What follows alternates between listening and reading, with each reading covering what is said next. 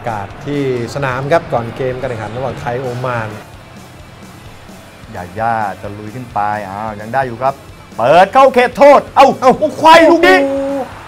เอ้าเข้าเฉยเลยครับ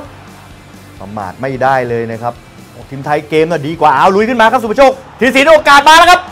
เรียบร้อยครับโอ้ได้ประตูตีเสมอเร็วว่าครับดึงเท่าครับธีรศิลป์แดงดาโอ้แล้วก็ส่งสุภชัยเจเดตออกมาแทนสุพนัทเหมือนตาครับ เอ้า โอ้โห เข้าไปเลยครับ ดูครับจังหวะนี้เหมือนอาริโอฮับซี่อะล้มตัวลงไปรับแล้วมันไม่ทันครับ สุภชัยได้บอกธีรศิลป์เข้าเขตโทษ โดนไหมโอ้โหอ่าเรียบร้อยครับโอ้ลูกนี้ต้องชมเลยครับ ให้แบบรู้กันเลยครับอุซาดีเอาซาเล่แหม่ต้องระวังนะครับ ต้องระวังลูกแบบนี้ต้องอ้าวนั่นแหละฮะแม่ไม่ไม่ทันขาดคำเลยครับ 3-2 แล้วครับ โอ้โห อ่าผู้ตัดสินเป่าหมดเวลาครับ โอ้ย เราชนะครับ ได้ 3 คะแนนที่สำคัญจริง ๆ ครับกับโอมาน ที่ไซตามะหิมะตกนะฮะแฟนบอลนี่แน่นเลยนะครับ ซากาอิ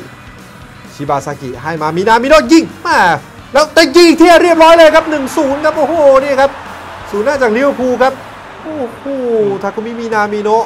มีนาเมโนนี่ตั้งแต่ยิงก็หายไปเลย ใช่ครับ ไม่ไม่มีบทบาทเท่าไหร่เอ้าไม่นำหน้าอ้าวคมารับแล้วครับธรรมดาหลุดเดียวยิง2-0 ครับโอ้โหไทยไม่จำหน้าเลยแล้วก็สุภโชคออกบดินทร์ผาลาเข้าอะต้องดูครับเอาแต่ได้ยิงลูกนี้อ้าวเรียบร้อยครับโอ้โหเข้าเฉยเลยครับโอ้โหสุพนัท